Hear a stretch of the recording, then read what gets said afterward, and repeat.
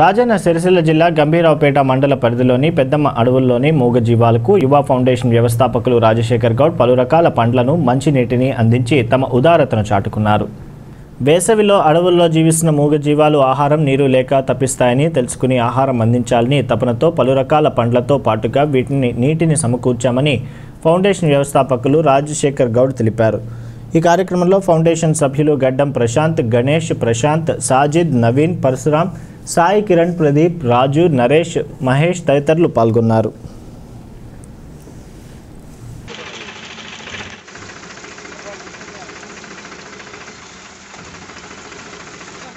యువ ఫౌండేషన్ ఆధ్వర్యంలో ఈరోజు మన గంభీరాపేట మండల్ పెద్ద మడవులలో కోతులకి ఫ్రూట్స్ అందివ్వడం జరిగింది. అదేవిధంగా వీటికి ఎండవేడి ఎండవేడిమికి తట్టుకోలేక దాహానికి విలవిలాడుతున్నాయనే ఉద్దేశంతో ఈరోజు కుండీలలో వాటర్ కూడా నింపడం జరిగింది. వాటి దాహార్తిని కూడా తీర్చడంలో మా వంతు సహాయం అందించడం జరిగింది.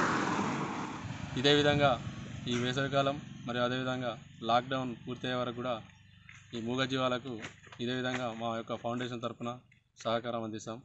దీనికి దాతలు కూడా సహకరించాలని కోరుచున్నాం. ఎవరైతే జంతు ప్రేమికులు ఉంటారో వారు కూడా మాతో కలిసి ఈ కార్యక్రమంలో పాల్గొనవచ్చు.